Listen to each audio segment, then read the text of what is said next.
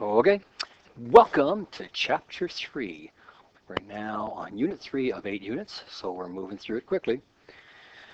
So, our first thing is fractions. We're going to multiply using models, just like we, mul we added and sorry, multiplied and divide using uh, integers using models. So, basically, I want you to write 3 times 5 as repeated addition. Remember, the multiplication is just fast, fast addition. So 3 times 5 would mean that I have three groups of 5.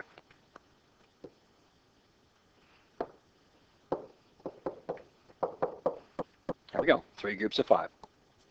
All right, now if we extend that into fractions, 4 times a third means I have 4 one-thirds, or 4 groups of one-third. All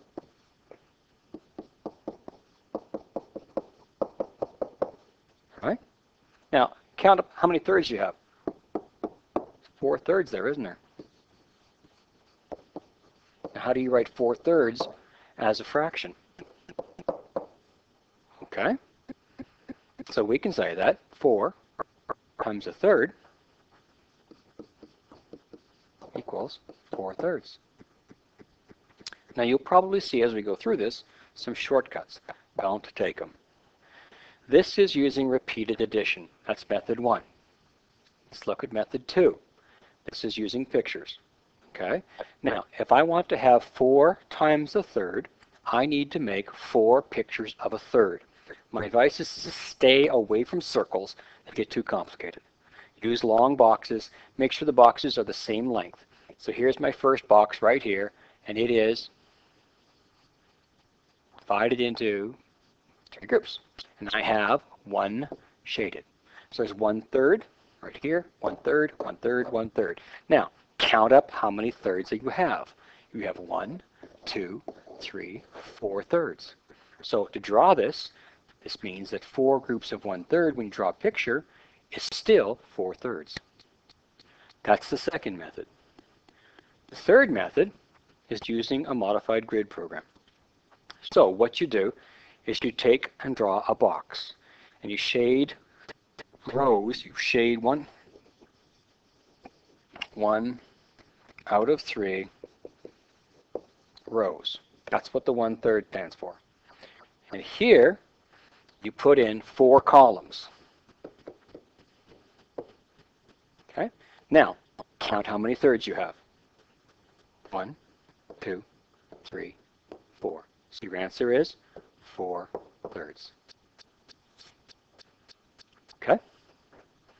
So, an, let's take a look at our next next question. Turn the page. Okay, so this one is now 7 times a quarter. As repeated addition, you're going to take and make 7 groups of 1 quarter. So we're going to have 1 quarter plus 1 quarter plus 1 quarter plus 1 quarter plus 1 quarter. So that's 1, 2, 3, 4, 5, 6. There is 7 1 quarters. So that means I have 7 of them. And we're working in quarters. As a picture, I need to have 7 groups of 1 quarter. So this becomes a bit more of a pain in the butt to draw. But here's my first group, right? And I need 1 quarter. Here's my second group. Remember, they have to be the same size. And here's my third group, fourth group, fifth group, slide this up a bit, my sixth group, and my seventh group. Again, remember everything's in quarters. And this is easier than circles. Okay, now these are all quarters, so they're all shaded. So I have seven groups of one quarter drawn there. Well, how many quarters do I have? One, two, three, four, five, six, seven. So that means I have seven quarters. Okay? As a grid, going to draw a box. And I want to have one out of four rows shaded. Okay, so here's one row shaded. I need seven columns. Okay, one, two, three, four, five, six, seven. How many six? How many do I have? Well, you take and count them. I've got one, two, three, four, five, six, seven. So how many quart how many quarters do I have? I have seven of them. So seven quarters. How do you draw that as a fraction? Seven over four. Okay, so the grid method is probably the easiest way to go. Maybe the addition method will work for you. Now, the textbook has another one, and actually I taught you this in grade four. Okay, it's called a fraction of a whole number, and it's actually really easy. Two thirds of 21, and if you remember, we're going to make three groups. We're going to count two of them, and we're going to put in 21 counters. So let's take 21 counters, put them in three groups, and you can see that's what's been done right here. Here's group one, group two, and group three. And the question is, two of these three groups is what? So count two of the three groups. Well, one third is seven, so two thirds is 14. So two thirds of 21 is 14. And again, that goes way back to grade four. All right, let's have you do some drawing here. This is the first one. 4 fifths of 15. Draw the 15 objects, please. And then I want you to do into five equal groups. So let's take a look at how we do this. I've got to draw 15 objects. Now, I think what I'll have you do is rather than just drawing the 15 objects here, because I can draw the 15 objects a lot quicker than you can, right? So this is what it would look like. I think I got 15 here. 1, 2, 3, 4, 5, 6, 7, 11, 12, 13, 14, 15. One too many. Okay? So there's 15 objects. All right. Now what you can do with this is you could probably just do little tiny circles because you're not really working with integers here. All right. It's just counters. Now put them into five equal groups. Well, if you put these into five equal groups, start grouping up with one, two, three. I'm going to drag these. So there's one group, there's two groups, three groups, four groups, five groups. Okay, now put this into this one and this one. Start to see how this works. There's five groups there. Again, this is just like we did in grade four. Okay, I've got five groups, 15 things in five different groups, and now I want to count four of the five groups. Well, four of the five groups are right here. So how many is in four of the five groups?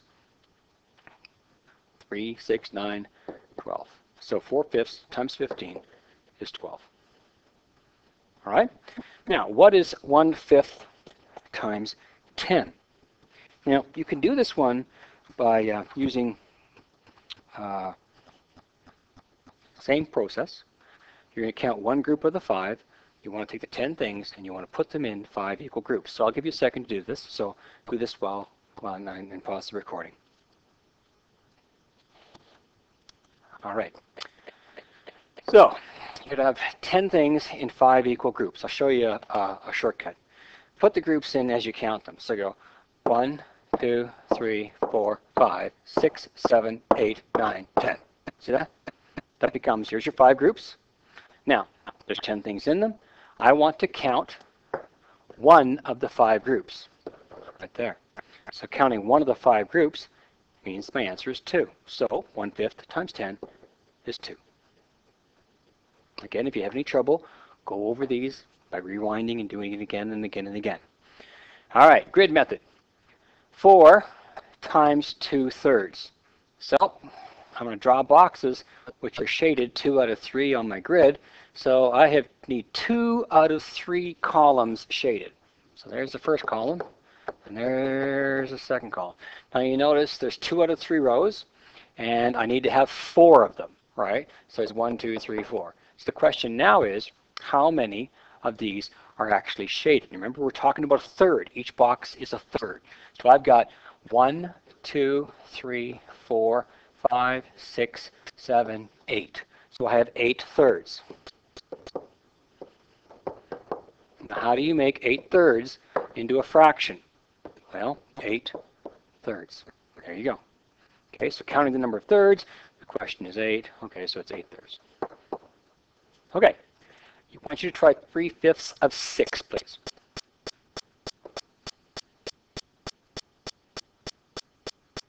All right, the first thing we need to do is make three rows of five. Oh, sorry, uh, sorry, five rows because I want to count three of them. Okay, so there's one row, two rows, three rows, four rows, five rows. Okay, so I need to, to shade in three of them. So there's one, two, three. Okay, so I got three out of five. So there's your three out of the five right there. Three rows of five. Now, the top is six. So you have to divide these into six. Okay, one, two, three, four, five, six. Okay, now we're working in fifths. Remember, because it's three fifths. So how many fifths do I have? So you can count them up. 1, 2, 3, 4, 5, 6, 7, 8, 9, 10, 11, 12, 13, 14, 15, 16, 17, 18. So we have 18